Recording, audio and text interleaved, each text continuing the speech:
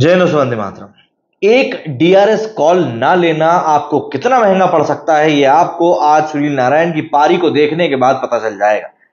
मौका था। ऋषभ पंत के पास में, ईशांत शर्मा के ओवर में मौका था। टाइम से डीआरएस कॉल ले लिया होता तो आज नारायण इतना बड़ा स्कोर मार के नहीं जाता। लेकिन वही कहते हैं ना, जब जब जो जो होना है, तब तब सो सो होना है। नारायण की किस्मत में आज था इस तरह की पारी को खेलना तो आज वो खेल गए। और क्या खेल गए भाई, क्या खेल गए हैं? मतलब दो मिनट के लिए तो सनराइजर हैदराबाद के भी मुँह में आ गए होंगे कि यार भाई, हमारा तो हाईएस्ट टोटल का रिकॉर्ड गया।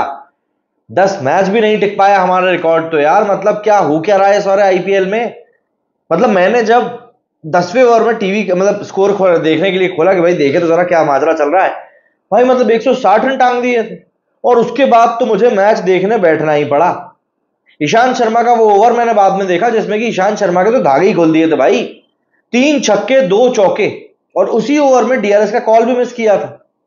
मतलब ये सुनील नारायण, वो सुनील नारायण नहीं है जिसको कि हम पिछले तीन चार साल से देख रहे थे भैया। मतलब इतना यूज़ तो सुनील नारायण का खुद वेस्ट इंडीज की टीम नहीं कर पाती है। जितना इस्तेमाल तो ऐसा लगता है कोलकाता नाइट राइडर्स की पूरी फ्रेंचाइजी कर रही है।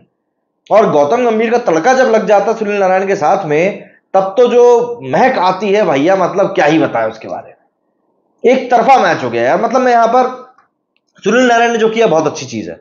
बट मैं यहाँ पर तारीफ़ करना चाहूँगा पहली गौतम गंभीर की और दूसरी शाहरुख खान की। शाहरुख खान का कारण पहले बता देता हूँ, क्यों नहीं तो आप लोग मुझे अभी गालियाँ देने लगो शाहरुख खान ने जिस तरीके से गौतम गंभीर को बैक किया है ना, लखनऊ सुपर जायंट के साथ ये जुड़े हुए थे। शाहरुख खान ने गौतम गंभीर को कहा कि भैया, ये रहा हमारा ब्लैंक चेक अपने हिसाब से अपना आप अमाउंट भर लीजिए, आपका जो भी कुछ चार्जेस है, लेकिन ये कोलकाता की टीम आपकी है और इसे आपने ही संभालना है। कोलकाता से गौतम गंभीर की जो यादें जुड़ी हुई है ना, उन्हीं यादों के कारण गौतम गंभीर ने कहा कि हाँ भैया, अब हम देख लेंगे। पैसों ऐसों का तो नहीं पता, लेकिन गौतम गंभीर ने इस टीम में वो जान ज़रूर फूक दी है, जो पिछले करीब तीन चार साल से दिखाई नहीं दे रही थी। मतलब एक तरफा टीम लग रही है यार, ऐसा लग ही नहीं रहा है कि ये पुरानी कोलकाता है जिसको कि हम लोग अभी तक देखते हुए आ रहे थे। गौतम गंभीर ने आपको याद दिला दूँ, इसी कोलकाता के साथ में दो बार आईपीएल का खिताब भी जीता है। सुनील नारायण तब भी इनके साथ में थे, सुनील नारायण आज भी इनके साथ थे। लेकिन ये सुनील नारायण, वो सुनील नारायण जो पहले लिबर लिबर किया करते थे। अब तो भैया ये फुल फॉर्म में है, छाती ठोक कर मारते हैं सामने वाले को। पिछले सीज़न में सुनील नारायण और आंध्र रसल को लेकर एक बात बहुत ज़्यादा वायरल हुई थी कि ये दोनों कहीं ना कहीं कोलकाता के ऊपर बोझ बनते जा रहे हैं। और इन दोनों को आप जल्दी ही देखेंगे, टीम से रुखसात होते हुए। लेकिन इस बार के आईपीएल में एक जो चीज़ सबसे स्टैंड आउट करने वाली देखने को मिली है कि यही दोनों खिलाड़ी ऐसे खिलाड़ी हैं जो कि एक ऊपर से और एक नीचे से। कोलकाता की टीम को ऐसा धमाकेदार सपोर्ट दे रहे हैं कि किसी टीम के पास में उसका कोई जवाब नहीं है। मतलब ऊपर से नारायण मार रहा है, नीचे से आंद्रे रसल मार रहा है। और आज तो रिंकू सिंह ने ही बोल दिया कि भैया, हमें क्या कुछ कम समझ के रखा है? क्या मारा है भाई रिंकू ने? वो नॉटकी की बॉलों को खुदा रहा था भाई बंदा और। पेल के चला गया यार। सात आठ बॉलें खेली, वह मुश्किल उस बंदे ने। पच्चीस, छब्बीस रन ठोक दिए। मतलब आज एक तरफा चल रहा था यार। आंध्र रसल दूसरे एंड पर खड़ा था। लेकिन कोई ये नहीं बोल रहा था कि आंध्र रसल को बैटिंग क्यों नहीं मिल रही? कोई भी नहीं बोल रहा था। जिस तरीके की बैटिंग आज के मैच में रिंकू सिंह ने करी है ना, उसके बाद तो ऐसा लग रहा था कि भाई, ये तो मतलब अलग ही लेवल का हल्ला मचा कर जा रहे हैं। मतलब आप स्ट्राइक रेट की हम बात करते हैं। स्ट्राइक रेट सुनील नारायण का रहा दो सौ सत्रह का। बंदा 85 रन बना के गया इसके बाद अगर मैं बात करूँ तो रसल का स्ट्राइक रेट, रसल का स्ट्राइक रेट भी 215 का रहा है। 19 बॉलों में इकतालीस रन बना के गए। इसके बाद रिंकू सिंह की बात करें तो 8 बॉलों में 26 रन 325 का स्ट्राइक रेट। वो तो आखिरी के दो ओवर इनके अच्छे निकल गए दिल्ली वालों के। वरना आज सनराइजर्स का जो रिकॉर्ड था ना, वो टूटना ही था। कारण उसका भी बता देता हूँ, क्योंकि जब आंध्र रसल आउट हुआ था, तब इनका स्कोर 266 हो चुका था और उस समय पर एक पाँच बॉल बची हुई थी। अगर कोई स्ट्राइकर ढंग का क्रीज पर होता तो भैया दस रन तो आराम से बनने थे। 277 उनका हाईएस्ट स्कोर बट स्टिल जो है सो है, बहुत बेहतरीन खेले हैं आज नारायण, रिंकू सिंह और आंध्र रसिल। इन तीनों ने कुल मिलाकर छक्के कितने मारे, ये भी सुन जाओ। सात छक्के मारे सुनील नारायण ने, तीन छक्के मारे रसिल ने और तीन छक्के मारे रिंकू सिंह ने। मतलब इन तीन प्लेयर्स ने मिलकर तेरह छक्के मार दिए। जब आपके तीन प्लेयर से मिलकर ये धमाल मचा देंगे तो आप सोच लो भाई क्या होना। मतलब इन तीन प्लेयर्स ने जो मिलकर बॉले खेली है ना, वो टोटल दस ओवर भी नहीं खेले। टोटल दस ओवर भी ढंग से नहीं खेले इन लोगों ने। और रन देखो कितने पहाड़ जैसे बना मारे।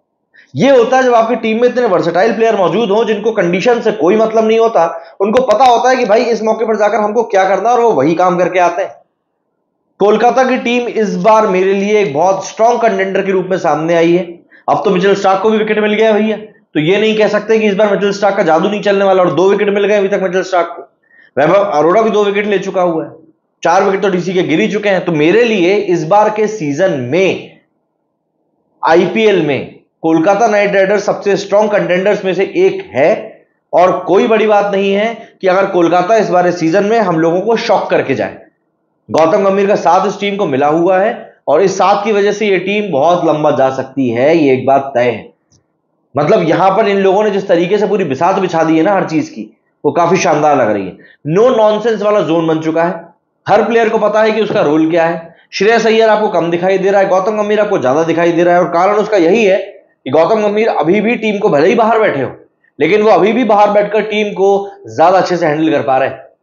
और देखिए, ये फ्रेंचाइजी क्रिकेट है। कुछ पोस्ट मैंने पढ़े थे सोशल मीडिया के ऊपर। उसमें लिखा था कि गौतम गंभीर जो है ज़रूरत से ज़्यादा दखल अंदाजी कर रहे हैं कोलकाता टीम के अंदर। देखिए, ऐसा है कि अगर किसी की दखल से टीम अच्छा परफॉर्म कर रही है ना तो फिर वो अच्छा परफॉर्म रहने दीजिए आप। मतलब मुझको वो परफॉर्मेंस चलेगी। लेकिन ये नहीं इस कीमत पे नहीं कि भैया नहीं, तुम परफॉर्म नहीं करो, फिर भी कोई दिक्कत नहीं। यहाँ ऐसा नहीं चलता। अगर आप परफॉर्मेंस करवा पा रहे हो तो आप बाहर बैठ के कैसे ही करा लो, हमें कोई दिक्कत नहीं। यही चीज़ तो चेन्नई भी कर रही थी ना लास्ट सीज़न में। महेंद्र सिंह धोनी को घुटने में चोट लगी हुई थी। बंदा बैटिंग कर नहीं पा रहा था। बमुश्किल सात आठ बॉले खेलता था, छक्के मारता था, चला जाता था। लेकिन क्या मैनेजमेंट ने उसके ऊपर उंगली उठाई? क्या मैनेजर ने बोला कि भाई तू तेरी जगह हम किसी दूसरे बैट्समैन को खिला लेंगे? एक होता है मैनेजमेंट का अपने प्लेयर्स को बैक करना। है मुंबई इंडियंस की बात नहीं कर रहा हूँ मैं। अगर आपकी टीम में कोई लेजेंड है, अगर आप किसी लेजेंड से जुड़े हुए हो तो आपका दायित्व बनता है कि आप उस लेजेंड को पूरा पूरा मौका दो। और कोलकाता ने यहाँ पर वही चीज़ गौतम गंभीर के साथ में करी है। गौतम गंभीर ने एज अ मेंटोर जो जान फूकी है कोलकाता नाइट राइडर्स में, पिछले कई सारे सीजनों में वो जान नहीं दिख रही थी। इस बारे में मैं क्लियरली बोल चुका हूँ। और सुनील नारायण मतलब जितने बार कोलकाता नाइट राइडर्स की बड़ी जीतों में शामिल रहे हैं, उसकी कोई गिनती नहीं है। चाहे बॉलिंग हो, चाहे बैटिंग हो, सुनील नारायण ने दोनों तरीकों से कोलकाता को हमेशा मदद ही करी है। और एक बार फिर से गौतम गंभीर के वापस आने के बाद में जो जान फूकी गई है सुनील नारायण के अंदर वाकई में मतलब आइडेंटिकल है और दिखाई दे रही है कि भैया किस तरीके से एक टीम को रिवाइव किया जा सकता है। Hats off to Shahrukh Khan hats off to Gautam Gambhir जिन्होंने इस बेजान सी पड़ी हुई टीम में एक बार फिर से जान फूक दी है। और ये यकीन कर पाना मुश्किल हो पा रहा है कि ये वही सुनील नारायण है जिनको कि हम आज से करीब पाँच छह साल पहले देखा करते थे एंड सडनली वो इस तरीके से वापस आ गए। बहुत शानदार, बहुत उमदा पारी खेली आज सुनील नारायण ने, और कोलकाता की टीम को मेरी तरफ़ से बहुत बहुत बधाइयाँ कि आपने एक नए तरह का खेल इस बार के सीज़न में दिखाना शुरू किया है। जिस डिटर्मिनेशन के साथ, जिस फोकस के साथ इस बार कोलकाता खेल रही है मैचेस देखने में मज़ा आएगा इनका। क्या कहना है आप लोगों का? कमेंट करके ज़रूर बताइएगा। मेरे इस वीडियो फ़िलहाल उतना ही। जय हिंद, जय भारत।